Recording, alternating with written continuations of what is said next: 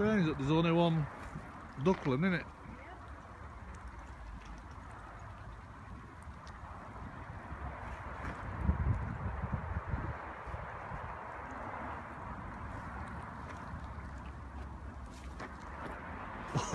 what do you want?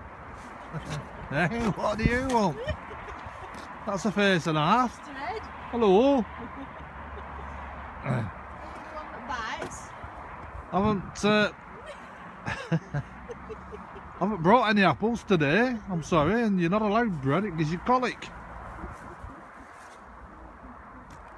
So what we're gonna do? Hmm. So look at them teeth. Mm, yeah, yeah, not bad. Not bad. I'll tell you what. I've got some mints in my pocket. I'll give you a mint.